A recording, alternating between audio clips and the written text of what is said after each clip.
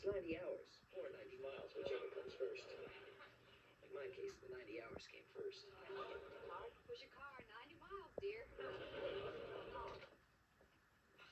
You know how much I've been looking forward to taking Carol to the prom. That's all I've heard for months. Well, can I borrow 25 bucks so I can go? I thought Danny was going to see that you saved enough money.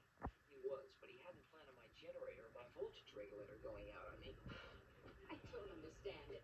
Every night, stroke of midnight, that car turns into a lemon.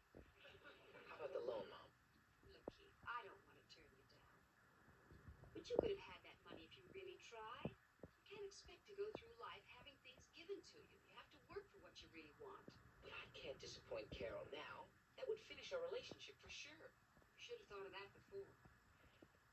Look, you've tried everything but the obvious. Oh? Get a job.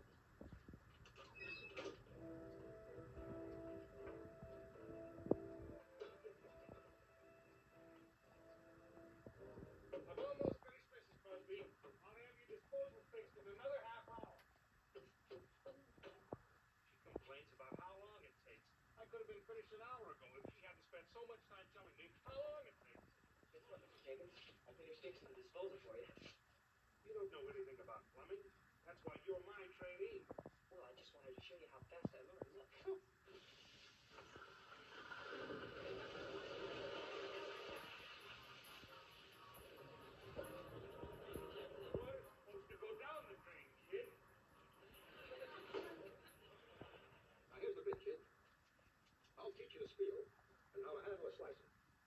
Send you on to the partner stores to make the pitch. Ever worked with a cucumber before? Can't I have. Here's the pitch you make for the pigeons. Yes, sir, folks. This handy dandy vegetable slicer. It dices. It slices twice the slice, twice as nice, and half the time.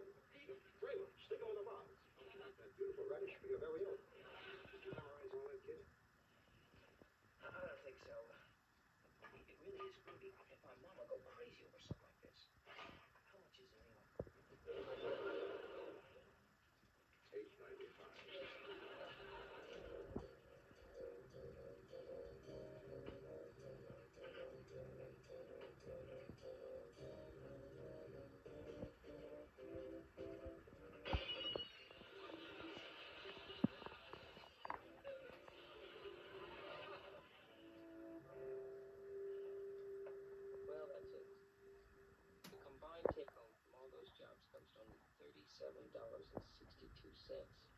And that includes severance pay. That's not too bad. At least you're solvent again. Not exactly. When I subtract the cost of the water damage to Mrs. Busby's kitchen and the plate glass window. Oh yeah, and your vegetable slicer. Thanks. That was very thoughtful. Anyway, subtracting those things, I'm twenty-nine dollars in the hole. You know, if you keep up the hard work, you might owe your first million before you're 30. I can't do anything right.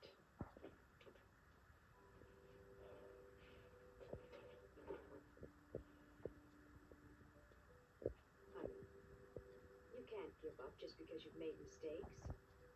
You can do anything you want to do as long as you're willing to keep trying, not afraid of making more mistakes. Almost everything we know is learned by trial and error. You really think so? I know so. Maybe, but that still doesn't help me now. After all that work, I still don't have enough money to take Carol to the prom. Maybe I can. I can't take it now. I owe so much money I'll never get out of debt. I just can't borrow anymore. Thanks. You know, maybe some good has come out of this. You just showed a twinge of responsibility. Yeah, well, I wish I were responsible enough to know what I'm going to tell Carol. She's going to hate me. You could always tell her the truth. Mom, I can't do that. She never believed me. You might try.